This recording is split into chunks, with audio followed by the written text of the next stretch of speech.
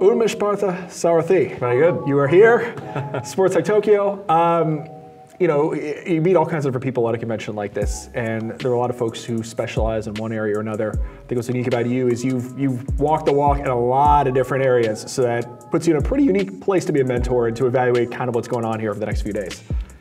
It is. Um, I think there's, there's, there's, there's, three things here. One, in terms of actually across the sports value chain, mm-hmm. when you're looking at the sell side and the buy side, the federations and the broadcasters, yeah. and then the agencies in the middle. So having done that across all three of the segments helps. Yep.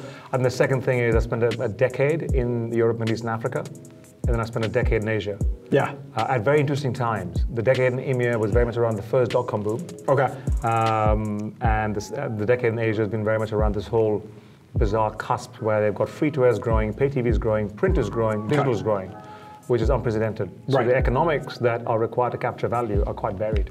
Yeah, and so within that, you've been different places in your career on the forefront of things. Mm-hmm. So you come here to a place like this, everybody's trying to push things in the future. Everybody has different ideas of what that future looks like. For you, what do you see? Where is sports tech going?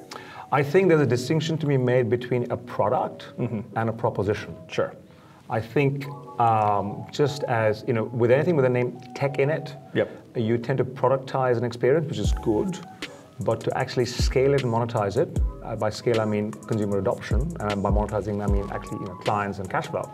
You need to think about it from a marketing perspective, brand, pricing, repeatability, differentiation, barriers to entry, which is very different than when you're actually doing a design thinking workshop in the first place. Yeah. When you come up with your MVP.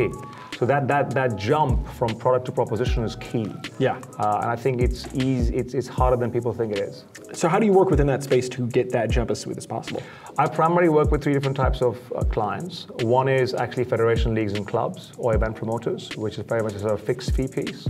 The other is a lot of digital tech and content companies looking to come into Asia where it's a, it's a foundation fee to do the strategy and then actually walk the walk over 12 months uh, with a retainer plus upside so that at the end of 12 months they actually have a situation where they can decide yeah. should we set up an office in which case there's another piece of work in terms of where what jurisdiction all that kind of stuff yeah. or should we say you know we'll park it we'll, and we'll carry on the way we are at the moment and the third area actually which is far more interesting yeah. but it's a lot of love and fresh air yeah. rather than money for our school bills is very much in, in at the intersection of what I broadly call uh, sort of tech, mobile, okay. and storytelling. Yeah. Because that's very diverse. If you look at esports, it's mm-hmm. fundamentally at the confluence of music, youth, and gaming.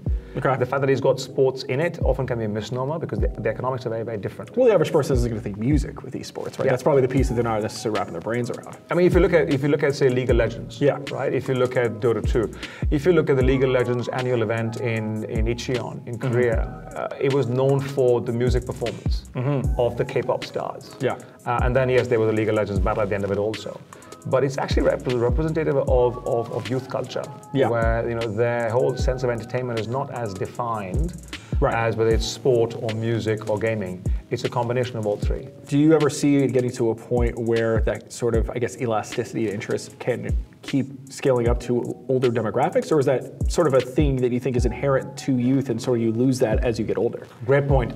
Um, I think it's going to be different in Asia vis-a-vis Europe, mm-hmm. and it's going to be definitely different in emerging markets Asia, so ex Korea, Japan, China, and the rest of Asia. Yeah. Because the demographics, 40 to 50% of the emerging markets Asia population is below the age of 30. So if I'm looking at demographic dividend over the next 10 years, they're going to be in the game yeah. all the way through. Right. If you look at it from a European perspective, I'm keeping the US out because US is quite a unique beast. Okay. If you look at a European perspective, the, the demographic dividend has been there for the last 20 years. Yeah. So they're the other end of the cusp. Yep. So if I'm a J League club in Japan, or if I'm yeah. an A League club in Australia, or an Indian uh, soccer league, the way I'm looking at esports is very different than the way any of the European football clubs or leagues are looking at it.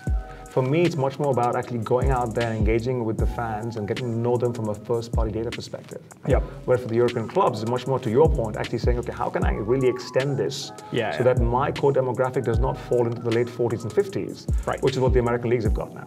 Yeah, that's you know, and that transitions what I, what I was going to ask you next, which is the U.S. is its own beast. So, yep. what is their problem? What is their issue, and how do you see that evolving? I don't see any problem. I mean, the U.S. is by far, in the history of civilization, the most. They've had 50 years of peace. piece. That- it's- it- these, these things are important. True, Until true, you don't feel it, you know, it's, it's, That- that's a good point. They've had fees, they've peace, they've had political leadership, they've Yeah. had a do- the currency which has been dominating. Yep. They've had GDP growth growing at between 6 and 16% year on year, which is massive. That means you're fundamentally doubling your GDP every, at least once a decade. Yep. And they've been able to actually drive innovation because of the lack of regulation or the light touch regulation. Yep. So if you look at banking, if you look at uh, if you look at pharmaceuticals, if you look at automobiles, if you look at tech, Yeah. those are the four largest engines. Um, the challenge is very much going to be where you start having a um, uh, an issue around the the economics of attention. So if you look at the, the business model of the four leagues, at least the top three leagues in the US, is very much television heavy Right. which is not necessarily the case of um, sports economics in Asia. Because OTT plays a role, Mm-hmm. Yeah. print plays a role because literacy is still going up. Yep. So you have this very, very bizarre um, situation in Asia where there are four or five different types of media platforms which actually are raising the profile of the sport and hence grabbing the attention of the fan. Yeah. Um, typically, typically, you'd have somebody who sort of is awake 16 to 18 hours a day. Yeah. Typically, 20% of that is spent on leisure, mm-hmm. right? Yep. That's about three to four hours. Yeah. You take away social and you take away e-commerce, you're probably with an, left with an hour. Now, the big difference between the, the mature economies in the West and Asia is commute time. There are long commutes in Yeah. Asia, and that creates an additional hour Yeah. for consumer time. Right, right, So those are advantages. Whereas in the US, until you start driving, the leisure time doesn't really quite co- co- come into your equation. Sure. So to summarize, I think the challenges in the in the US are very unique simply because it's a large, homogenous, affluent market. Yeah. So if you get onto something which is good, I think the NBA 2K League is a classic example. Yep. Or Overwatch is a classic example. Yeah. It just goes like that. Yeah, yeah. Whereas in, in the emerging markets, you've got to be far more clear about, you know, what are the different platforms that you're pushing, Mm-hmm. which are your success factors. Right, absolutely. You know, you mentioned we'd talked before, and certainly whether it's the external pitch, the internal pitch, you're, you're telling stories. That's how you get communication across the line. So, what for you as a storyteller has been the most important tool in your tool bag to wherever the situation you're in, you can communicate effectively? Listening. Yeah. It's a very underrated skill. Um, to just because somebody has not responded or said yes or have been very anodyne in their response doesn't necessarily mean either they've understood it Yeah. or if they've understood it, they've appreciated it. yeah, And if they appreciate it, they actually have an idea what next comes. Yeah. So you've got to be constantly thinking, second guessing yourself mm. to say, actually, have I made, been able to make my point across, not to my benefit, but to the benefit of the listener? Yeah. So, for example, if I'm working with a technology company, there's a large American technology company I work with, it's very much about their sales team needs to sort of migrate by selling to the content people and the marketing people and the strategy folks in a client organization than the chief engineer or the CTO.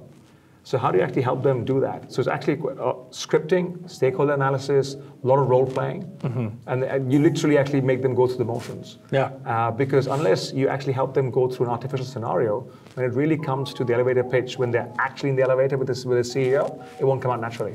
Yeah. So it's, it's listening, it's making sure that what you're saying is being comprehended, Right. and then just keeping it very bite-sized and incremental.